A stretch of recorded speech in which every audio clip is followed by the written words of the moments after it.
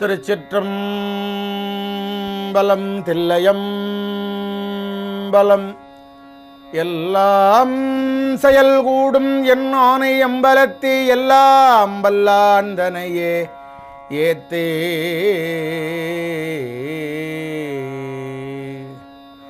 பூழியர்கோன் வெப்பொழித்த புகழியர்கோன் கடல் போற்றி ஆழிமிசை கல்மிதப்பில் அணிந்த விரானடி போற்றி வாழி திருநாவலூர் வன் தொண்டரி பதம் போற்றி உழிமலி திருவாத ஊரறி திருத்தாள் போற்றி. தென்னாளுடைய சிவனே போற்றி எந்நாட்டவர்க்கும் இறைவா போற்றி. ஏகம்பத்துறை எந்தாய் போற்றி பாகம் பண்ணொரு ஆனாய் போற்றி. காவாய் கணக திரளே போற்றி கைலை மலையானே போற்றி போற்றி. திருக்கள் குன்றில் செல்வா போற்றி பொறுப்பமர் பூவனத்தி அரணே போற்றி. வெற்றிவேல் முருகனுக்கு அரோகரம் அருட்பெரும் ஜோதி அருட்பெரும் ஜோதி. தனிப்பெரும் கருணை அருட்பெரும் ஜோதி. எல்லாம் வல்ல ஞானமே வடிவமானே வள்ளல் தெய்வம் விநாயக பெருமானுடைய தனிப்பெரும் கருணையினாலே ஏ எம்என் தொலைக்காட்சி நேயர்களே நாம் தொடர்ந்து சிந்தித்து வருகிற ஆன்மீக களஞ்சியமாக இருக்கிற தமிழ் புக்கிஷம் என்று சொல்லக்கூடிய திருமந்திர பாடல்களை தினந்தோறும் சிந்திக்கிற வாய்ப்பு நமக்கு சுவாமி வழங்கியிருக்கிறாங்க. இன்றைக்கு நமக்கு அமைந்திருக்கிற பாடல் எண்பத்தி ஏழாவது பாடல். இந்த எண்பத்தி ஏழாவது பாடலில் ஒரு அற்புதமான தகவலை பதிய வைக்கிறார் திருமூல சித்தர் என்ன அற்புதமான தகவல்? இப்போ மற்ற பாடல்கள்லாம் அற்புதமான தகவல் இல்லையாருன்னா ஒன்று ஒன்று ஒரு வகைன்னா அற்புதம். மூணாயிரம் பாட்டுமே அற்புதம். உலகமும் உயிரும் வாழ செய்வது திருமந்திரம். இந்த திருமந்திரத்தை படித்தா என்ன லாபம்னா உலகமும் உயிரும் வாழ செய்வது திருமந்திரம். இதை சொல்றவர் திருமூல் அனுபவப்பட்ட ஞானி சொல்றார். அங்கி மிகாமை வைத்தான் உடல் வைத்தான். எங்கும் மிகாமை வைத்தான் உலகு ஏழையும் தங்கி மிகாமை வைத்தான் தமிழ் சாத்திரம் பொங்கி மிகாமை வைத்தான் பொருள் தானுமே. அங்கி அப்படின்னா நெருப்புங்க. மிகாமை வைத்தான் இருக்கிற ஜீவன்கள்லேயே கோழிக்கு வேகமாக ஜீரணமாகும். கோழி எப்பேற்பட்ட உணவை கடினமான உணவை உண்டாலும் மூக்கை போட்டு ரெண்டு தேய் அப்படி தேய்ச்சிட்டோம்னா உடனே ஜீரணம் ஆகிடும் ஏன் கோழிக்கு மட்டும் அவ்வளோ ஜீரணம் ஆகுது? கோழி உடம்புல வந்து நிறைய இந்த கற்கள்லாம் நிறைய கல்லந்த கல் அந்த கூட வேலை போட்டுக்கிறது. கல் வந்து ஜீரணம் ஆகிடும் கோழி என்ன காரணம்? மற்ற ஜீவன்களை விட கோழிக்கு மட்டும் அவ்வளோ வேகமாக ஏன் ஜீரணமாகுதுன்னா அந்த அக்னி நெருப்பு அது உடம்புல கூடுதலாக இருக்காது. கோழி உடம்பு அதிக சூடு. சூட்டினாலே தான் இந்த உலகம் வாழ்கிறது ஒளியினாலே தான் நம்ம உடம்புல நெருப்பு இருக்கிறதுனால தான் இருந்து கொண்டிருக்கிறது. இந்த நெருப்பை நாம் எப்படி தெரிந்து கொள்றதுன்னா பூஜை அறையில் நம்ம ஏற்கனவே சிந்தித்த ஞாபகம் எனக்கு இருக்கிறது. பூஜை அறையில் சுவாமி கிழக்க பார்த்து படம் வைக்கிறோம் செலவு வைக்கிறோம். நம்ம வடக்கு பத்தாப்புல உட்காந்துக்கிட்டு ஒரு கீழே ஒரு ஆடை போட்டு உட்காந்துக்கிட்டு இரண்டு காதுகள்லேயும் இரண்டு விரல்களை அப்படி சொருகி வெளி சத்தங்கள் அதிகமாக போக்காமல் நாம் அப்படி தொடர்ந்து சுவாமி சிந்தனையாக இருக்க இருக்க இருக்க என்ன ஆகுன்னா அந்த வயிற்றுக்குள்ளே இருக்கிற எரிகின்ற அந்த ஜோதியினுடைய ஓசையை நம்மால் உணர முடியும் என்று பெரியோர்கள் சொல்லி வச்சிருக்கிறாங்க. ஒரு எளிமையான வழிதான். அது கேட்கலன்னா பரவாயில்ல. ஆனால் பல நாள் முயற்சி பண்ணால் கண்டிப்பாக அந்த ஒலிய சப்தத்தை கேட்கலாம். ஒரு சத்தம் உடம்புக்குள்ள அந்த நெருப்பு எரிந்து கொண்டே இருக்கிறது. ஏன்னா போகிற சாப்பாட்டெல்லாம் ஜீரணமாக்கி சத்துக்கும் ரத்தத்துக்கும் அந்த யூரியனுக்கும் அந்த மலத்துக்கும் தள்ளி நிற்குது பிரித்து இல்லைன்னா என்ன பாருங்க எது எதையோ தடுறோம் அப்படியே சௌக்கியமாக அது வெளியே வந்துடுது. பெரிய ஆச்சரியம். மெயின் சு முக்கியமான தகவல் நெருப்பு இருக்கிறது உடம்புல. அங்கி மிகாமை வைத்தான்னர். அந்த நெருப்பை அளவோட வச்சிருக்கிறாங்களாம். பேருந்துகளில் ஓட்டுநர் தலைக்கு மேலே எழுதியிருப்பாங்க. சேஃப்டி ஃபஸ்ட்டு ஸ்பீடு நெக்ஸ்ட்டு பா முதல்ல பாதுகாப்பு பார்த்துக்கோ அப்புறம் வேகம் காட்டு. இந்த நெருப்பை கொஞ்சம் கூடுதலாக வச்சாருன்னா உடம்பு தாங்காது. அதே மாதிரி இன்னொரு நெருப்பு இருக்கிறதா? வடவாமுகாக்கண்ணின்னு அது சமுத்திரத்தில் அளவாக வச்சிருக்கிறாங்க. அது கொஞ்சம் அதிகமான சமுத்திரத்தில் ஒரு சொட்டு தண்ணி இருக்காது உலகமே இருக்காதுன்னு ஒரு செய்தி இருக்கிறது. வஷீட்டருடைய பிள்ளை சக்தி முனிவர் செய்த தவத்தினால் ஏற்பட்ட அந்த நெருப்பை முனிவர்கள்லாம் சேர்ந்து அப்படி வச்சிருக்கிறாங்க. சுவாமி கருணையினால அப்படின்னு ஒரு செய்தி உண்டு. இப்போ இந்த நெருப்பு தகவல் ஏன் திரும்ப வருதுன்னா தங்கி மிகாம வைத்தான் தமிழ்ச்சாத்திரம் பொங்கி மிகாம வைத்தான் பொருள் தானுமே. எப்படி இந்த நெருப்பை அளவோடு வைத்திருப்பதனால் நம்ம உயிராக இருக்கிறோமோ சொக்கியமாக இருக்கிறோமோ அதே போல் உடலை அளித்த சிவபெருமான் இந்த உடலில் அக்னியை மிகாமல் இருக்கும்படி வைத்துள்ளான். பூவுலகம் முதலியவற்றையும் அழியாத வண்ணம் தீயை வைத்தான். குழப்பம் இல்லாமல் இருக்க தமிழாகமமான திருமந்திரத்தை வைத்தான். அப்போ என்ன தெரியுதுன்னா வாழ்க்கையானாலும் மற்றும் பக்தியானாலும் வெள்ளியானாலும் உள்தகவலானாலும் எந்த சிந்தனையானாலும் ஒரு தெளிவான செய்தி வேணும்னா நாம் நாட வேண்டிய நூல் திருமந்திரம். குழப்பமில்லாத நூல். நிறைய குழப்பங்களாக பேசிக்கிறது தான் நமக்கு பழக்கமே. அந்த மாதிரி இல்லாமல் குழப்பமில்லாமல் இருக்க தமிழ் ஆகமமான திருமந்திரத்தை வைத்தான் அதனுள் பொருள்களும் இதனுள் அடங்கும்படி வைத்தான். அனைத்து பொருள்களும் இதில் அடங்கி போச்சு. இதில் இல்லாத விஷயமே இல்லை இதில் இல்லாத தகவலே இல்லை. பண்ண யாராவது நீங்கள் இப்போ தொலைபேசி அடியனுடைய தொலைபேசி போடுவாங்க. அதில் இப்போ என்ன நீங்கள் எல்லா தகவலும் இருக்கிறதா சொல்கிறீங்களே இந்த தகவல் திருமந்தத்தில் இல்லை அப்படின்னு கேளுங்க. பேசுவோம். ஏன்னா கதை விட்டுட்டு போகிற மரம் மதம் அல்ல நம்முடைய ச சைவ சமயம். இல்லாதது இருப்பதாக சொல்றதுக்கு முயற்சிக்கிற சமயங்கள் அல்ல. உண்மை சமயம். எல்லா சமயங்களையும் தன் கொண்ட ஒரு தாய் சமயம் சைவ சமயம். கதை விடுறதுக்கு சைவ சமதி தெரியாது. உள்ளதை தான் சொல்லுவாங்க.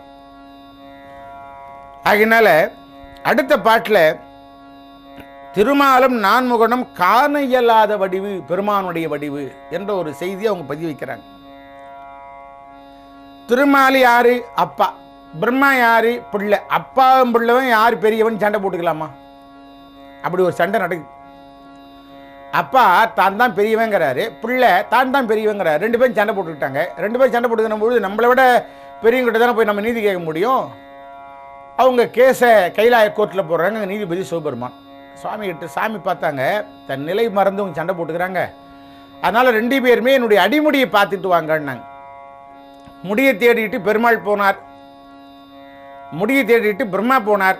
அடியை தேடிட்டு பெருமாள் போனார். பெருமாள் இதில் என்ன ஒரு ஆச்சரியம்னா பெருமாள் எங்கே முடி இருக்கிறதோ அங்கே போயிட்டாங்களாம். திருவடி இருக்கிற இடத்துக்கு போயிட்டாங்களாம் பெருமாள். சிவபெருமான் தான் காட்டை மறைச்சுட்டாராம். ஆனால் திரும்ப வந்து இவர் என்னால் பார்க்க முடியலன்னு உண்மையை ஒத்துக்கிட்டார். இந்த பிரம்மங்கிறார் பாருங்கோ.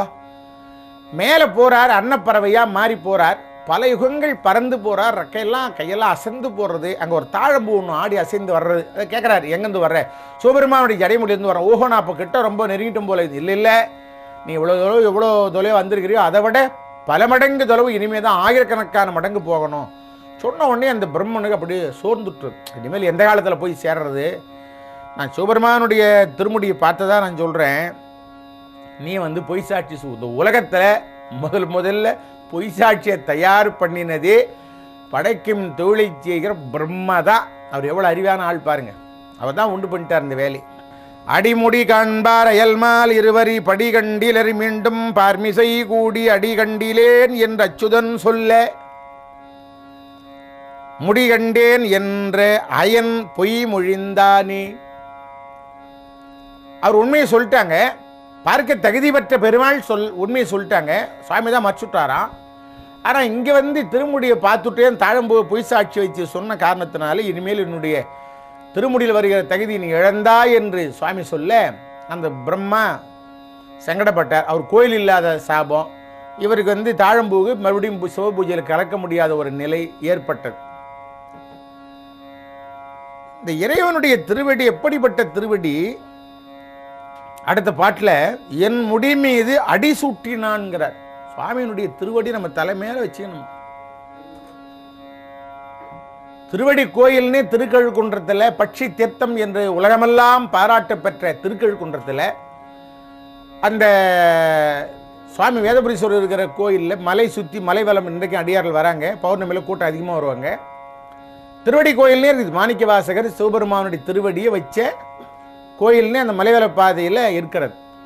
அங்கே தான் பக்கத்தில் சிவதாமோதர ஐயா வீடு இருக்கிறது. அந்த கோயில் பக்கத்தில் தான் அங்கே துருவாசகத்தை முற்றுவதல் பண்ணி மிக சிறப்பு பண்றவங்க. பெற்ற மும்மானும் அழுவும் பிரிவு அற்ற தற்பரன் கற்பனை ஆழும் சராசரத்து அற்றமும் நல்கி அடியேன் சிரத்தினில் நற்பதமும் அளித்தான் எங்கள் நந்தியே. காளை மானே மழி ஆகியவற்றை பிரிவில்லாமல் கொண்ட மேலான பரம்பொருளின் கற்பனையாய் அமைந்தது இவ்வுலகு. சுவாமியினுடைய கற்பனையில். எங்கள் குருநாதனான நந்தி ஒழிவினை தந்து அடியேன் முடியின் மீது தன் மேலான திருவடியை சூட்டினான். திருப்பெருந்துறையிலே இறைவனை நேரா தரிசித்த மாணிக்க வாசகர் வெளியில வருகிற பொழுது கண்கலங்கி அடறாராம் திருக்கழுன்றத்தில் சுவாமி நீங்க திருவடி காட்டின இடத்த விட்டு நான் வந்து தப்பா போச்சு. என்று அழுகிற பொழுது ஒரு திருவடியை மறுபடியும் அவருடைய சிரசு மேலே வைக்கிறார். பிணக்கு இல்லா பெருந்துறை பெருமான் உண்ணாமங்கள் பேசுவார்க்கே. இனக்கிலாததோர் இன்பமே வரும் துன்பமே துடை தெம்பிரான். உனக்கில்லாததோர் வித்து மேல் விளையாமல் என் விளை ஒத்த பின். கணக்கிலா திருக்கோலம் நீ வந்தி காட்டினாய் கழு குன்றிலே கட்ட நீனையும் ஆட்கொள்வான் வந்தி காட்டினாய் கழுக்குன்றிலே. கலங்கினேன் கலங்காமலே வந்தி காட்டினாய் கழுக்குன்றிலே. குன்றிலே திருக்கோலம் நீ வந்து காட்டினாய் கழுக்குன்றிலே. காலமே உனை ஓத நீ வந்தி காட்டினாய் கழுக்குன்றிலே. காதலால் உனை ஓத நீ வந்தி காட்டினாய் கழு குன்றிலே கயக்கவை தடியார் முனே வந்தி காட்டினாய் கழு குன்றிலே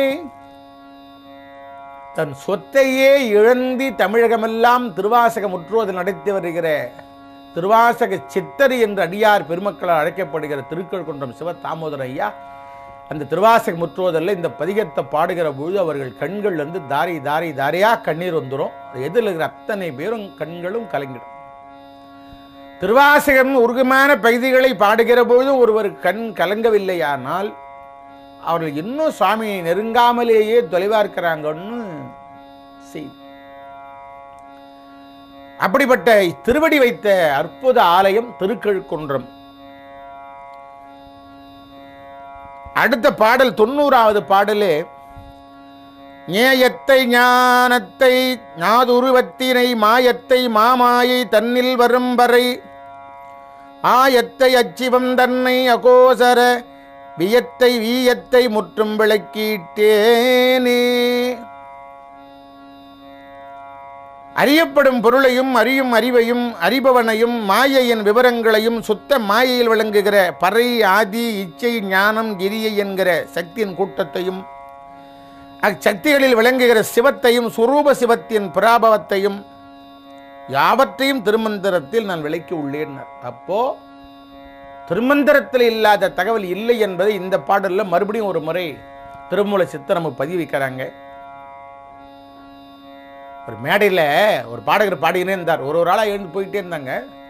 ஒரு ஆள் மட்டும் கடைசி வரைக்கும் நின்றுட்டே இருந்தார். பாடுறது சந்தோஷம். நிறைவு பையில் சொன்னார் பரவாயில்லப்பா நீ அது ஒரு ஆள் நின்று கேட்ட? சந்தோஷம்னார் நான் கூட ஏன் நின்னேன்னா நீங்கள் உட்காந்துங்கிற பெட்ஷீட் எங்கள் வீட்டில் வாங்கியிருந்தாங்கோ அதை நின்று வாங்கடா நீங்கள் அம்மா சொன்னாங்க. நான் அதுக்காக நின்னேன் நான் அவன். அந்த மாதிரி சொல்லப்பட்ட நூல் அல்ல திருமந்திரம். அற்புத தகவல்கள் உள்ள நூலாக இருக்கிற காரணத்தினாலே இந்த திருமந்திரத்தை தயவு செய்து எல்லா இல்லங்களிலேயும் வாங்கி வையுங்கள். மூணாயிரம் பாட்டை பாட நேரம் இல்லை படிக்க நேரம் இல்லை என்று சொல்லுகிற அடியார் பெருமக்கள் கூட முதல் தந்திரத்தில் உபதேசம் என்ற பகுதியில் வருகிற அந்த முப்பது பாடலை சிந்தித்தால் மூணாயிரம் பாட்டினுடைய சாராம்சமும் அதில் இருக்கிறது. சுருக்கமான வழி எளிமையான வழி. நான் மனித பிறவியினுடைய பயனை எடுத்த அந்த பலனை அனுபவிக்கிற ஒரு வழி என்று தகவலை சொல்லி எல்லாரும் எல்லா நலமும் அடைய சுவாமியினுடைய திருவடியை வேண்டி நாம் தொடர்ந்து சிந்திப்போம். நன்றி வணக்கம். சிவாய நம்.